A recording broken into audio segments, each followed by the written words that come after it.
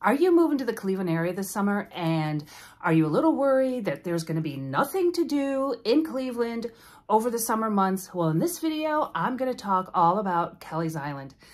Hi guys, welcome back to my channel, Living in Cleveland, where I make videos about all things Northeast Ohio, Northwest Ohio, and even down south. You know the drill. If you don't want to miss any of my videos, hit that subscribe button, hit the like button, leave a comment. Okay, I make videos and it's summertime. In fact, it's Friday, July 1st, and this is the 4th of July weekend. So this is going to be a quick video, but last Saturday, um, I think if, you, if you've been watching my videos, you all know I have a, a place up in Marblehead, which is in Northwest Ohio. It's between, it's about an hour and 10 minutes west of downtown Cleveland, right on the shores of Lake Erie. And this is where Ohioans go to party and vacation in the summertime. It's called Lake Erie Shores and Islands. You have the Marblehead area, Catawba area, Port Clinton, which is all mainland. And then we also have islands. Of course, the biggest party party island is Put-in-Bay. And I've done two videos on Put-in-Bay so far. And I've also done a video of Kelley's Island, but it's been a while. And last Saturday, my husband and I were going for a ride on our bikes. We have e-bikes, which are so much fun, which I should probably just do a video on e-bikes.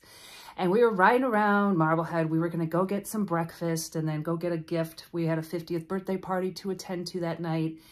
And we were just killing time. And my husband goes, hey, the Kelley's Island ferry just pulled in. Let's go over to Kelley's Island for a few hours. I'm like, all right, let's go. So with our bikes, and us, the ferry trip was $64 round trip, which I think is expensive, but that's only because the Miller ferry, which takes you to Put-in-Bay, is like half the price. But still, for $64 round trip with your bike, it, it's, and you're going to spend all day there, it's well worth the money. So why we loved Kelley's Island is we could literally, from where our, where our place is at Bay Point, we can ride our bikes right to the ferry. So we don't have to mess with putting it on a bike rack which we do if we take it to the Miller Ferry. We have to put the bikes on a bike rack and they're heavy and then unload them and then put them back. This was so easy. We just hop on the boat. It's a half hour ferry trip and it drops you not right downtown. If you want to get dropped off right into downtown Kelley's Island, you have to take the Jet Express. And I'm not really sure. I think you have to get the Jet Express from downtown Port Clinton. I'm not entirely sure. There's a couple other places I think you can pick it up, and that will drop you right off downtown. But Kelley's Island Ferry, but it's a short walk. People walk it all the time. Um, now, what I like about Kelley's Island, it is more family friendly. It's a very large island. It's actually more residential. So if you're riding your bikes, it's a perfect, you get a nice long um, bike tour. And there's a lot of state parks. There's a lot of trails, hiking trails. Um, there's still some active quarries, which there's a quarry, active quarry, they go back and forth um, on the mainland in Marblehead. So there's an active quarry, and I know when I was a kid, we would jump off the ledges into the water because it's just perfectly clear. So, and there's glacial grooves, which are so cool to see. In fact, I didn't really get a video of them because they're fixing the fencing around it, but it's a huge tourist attraction. Um, there's summer camps for kids. There was, I think, Campos? I, this was a week ago. I can't remember. One of them is a, like a religious one. Um, but we were getting on the ferry and a bunch of kids were coming off the ferry and then like rotating kids.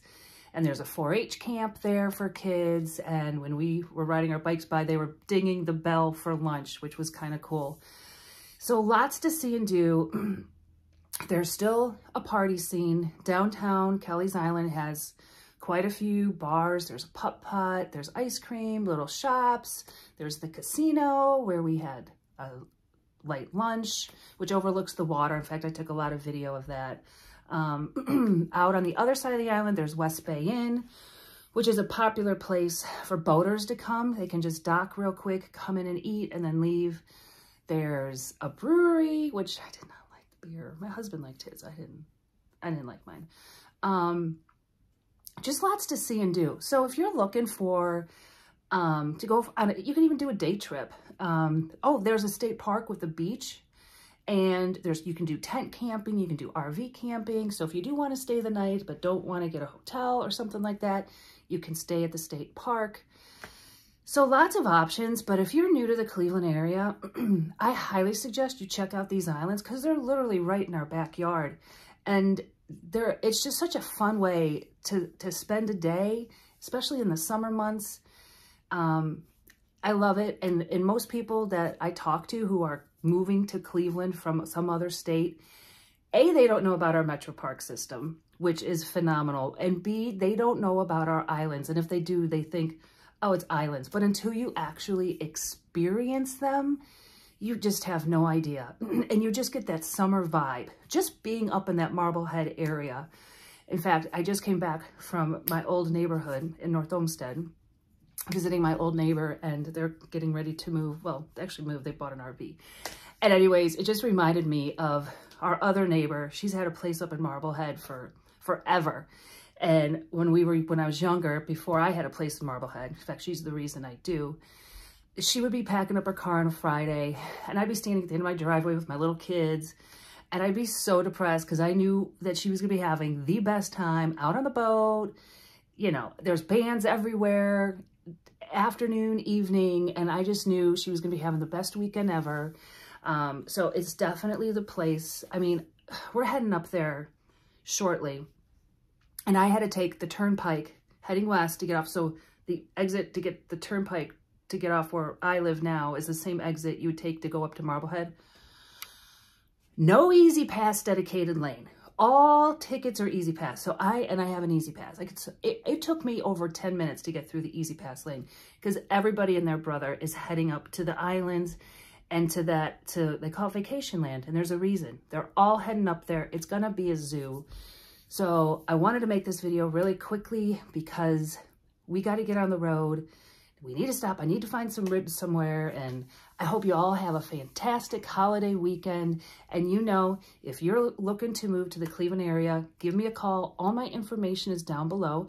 I answer my phone. I answer my emails. I answer my texts. So you know what to do. I hope you enjoy Kelley's Island. And I'll see you next time. Thanks.